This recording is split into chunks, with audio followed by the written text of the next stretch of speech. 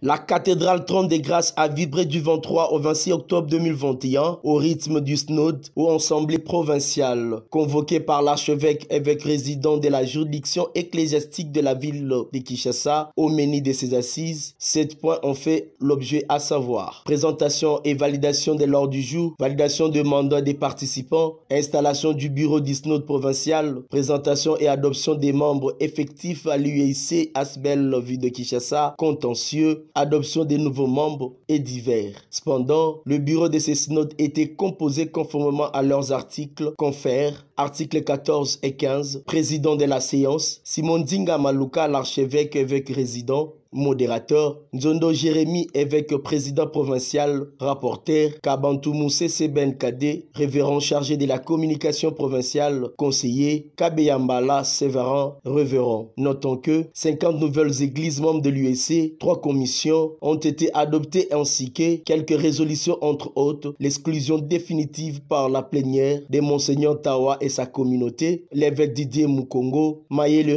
révérend Yalo, révérend Joël S. Kabund, Gilles Luamba, pour ne citer que cela, tel que précise le révérend William Pia. Bonjour.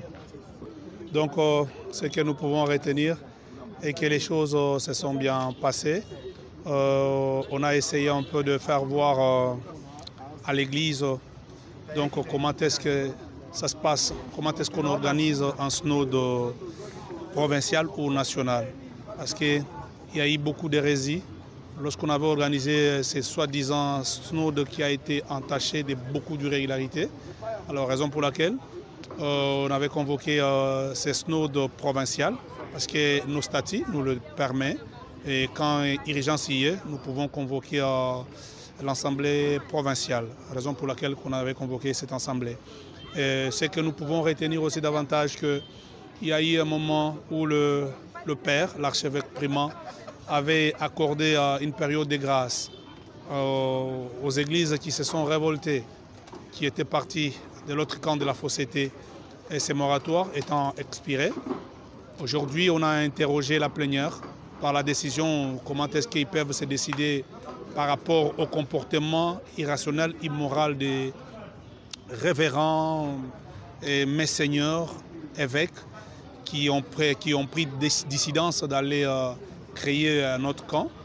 Aujourd'hui, la plénière a décidé de pouvoir les exclure de l'Union des Églises indépendantes du Congo et de ne plus utiliser les noms de l'Union des Églises indépendantes du Congo. C'est la décision qui a été prise aujourd'hui par la plénière. Donc ça a été passé par un vote et tout le monde a amendé cela. Ils ont accepté ensemble à l'unanimité que ces églises soient radiées de l'Union des églises indépendantes du Congo que dirige l'archevêque primant. Par ailleurs, ces assises ont connu la participation du premier vice-président de l'UEIC, Shannon, et quelques anciens et représentants du ministère de Justice qui nous livrent ses impressions. Bonjour, bonjour. Je suis un agent de l'État de la ville de Kinshasa, euh, chef de bureau du ministère de la Justice chargé de culte et. Je suis très très content. Je l'ai dit ici quand même. Je suis très content puisque ce n'est pas n'importe qui qui fait une réunion comme ça qu'on est tranquille. Les autres, il y a de gauche à droite, de gauche à droite, mais je vois ici en tout cas, vous êtes un peu bien. Il y a l'attente. Je suis content. Il s'est de rappeler que ce dimanche 31 octobre 2021 se déroulera l'ordination des révérends et l'installation de l'équipe provinciale en 9 au sein de la cathédrale Trône des Grâces. Cordial, bienvenue à toutes et à tous.